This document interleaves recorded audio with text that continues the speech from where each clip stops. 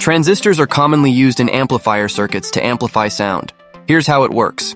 In this setup, you'll find two resistors are connected to the transistor.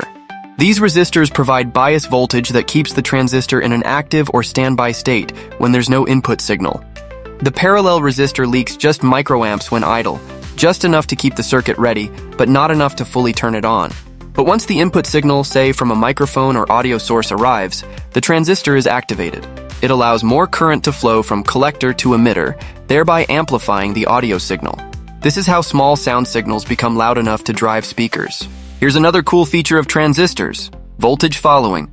In this setup, the transistor behaves like a buffer that mirrors the input base voltage at the emitter output, with only a small voltage drop, like 0.7 volts. Why this voltage drop? Because the base emitter junction behaves like a diode, and it requires the emitter voltage to be lower than the base for current to flow. For example, if you apply, say 5 volts to the base, the output at the emitter will be the base voltage minus 0.7 volts, around 4.3 volts.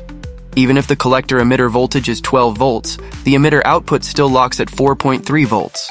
This resistor here, it's called a negative feedback resistor. It senses exactly 0.7 volts when the transistor conducts, stabilizing the circuit and improving performance. Pretty clever, right? Visit ATO.com for diverse industrial automation products and solutions.